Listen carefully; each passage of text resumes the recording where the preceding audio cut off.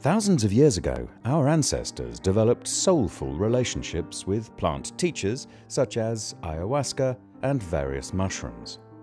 Relationships that led to the development of complex knowledge systems that cultivated a deeper awareness of the interconnectedness of all life and the understanding that we also are part of nature.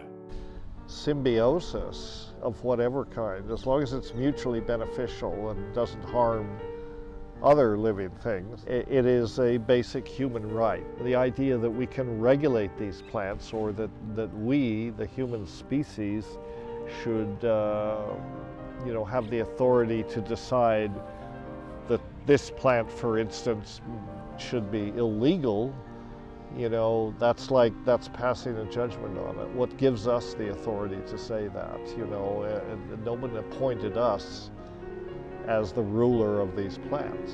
More and more people are getting caught in the nets. Arrests are on the rise across the globe. What we are facing is a major lack of understanding of what this phenomenon is about. And this is why we've made it our mission to advocate for the prioritization of human rights over drug policies within the judicial systems of the world. For the last three years, thanks to the support of the international community, we have been able to work with defendants and their legal teams in more than 27 countries. Uh, accused of importing illegal drugs to Israel and for conducting ceremonies in Israel. And we were facing a very long trial and probably five to ten years in jail. La pena inicial que me, que me ponían era, creo que era de siete años, y pues en ese, en ese momento tenía una niña, y justo después del juicio nació la otra niña mía, pues claro, es un, es un limbo, es un limbo en el, en el que te encuentras ahí. ICEERS' Legal Defense Program has been a collective effort that led to important victories in many countries of the world.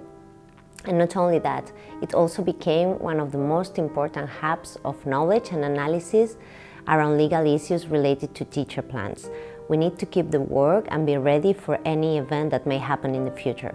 With your support, our team will be able to offer in-depth support to more people who are facing legal challenges.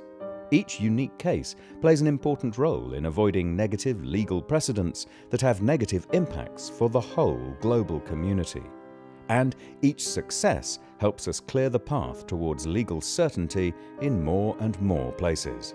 At one point I had a meeting with my lawyer and he said, that he's never seen such a professional organization, that they were so helpful, everything that he needed, and we needed a lot of things, like just reports, and Constanza was working with him.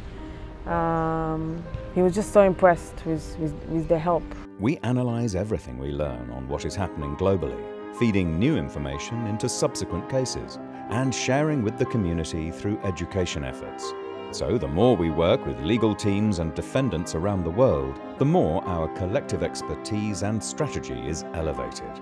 All of this translates into proactive actions to foster favourable interpretations of how drug laws are applied to plant teachers.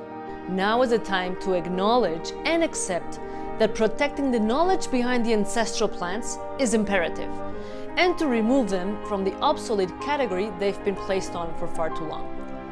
I really want to express my gratitude to ICEERS and I'm very grateful they existed and hope that uh, ICEERS will be supported by the right people so they can continue their work in the world and help other people in my case.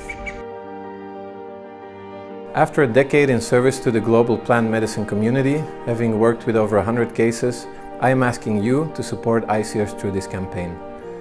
In this way, we can continue working with every single case that comes to us, seizing the opportunity for positive legal precedent. Please give what you can and share this campaign. Thank you.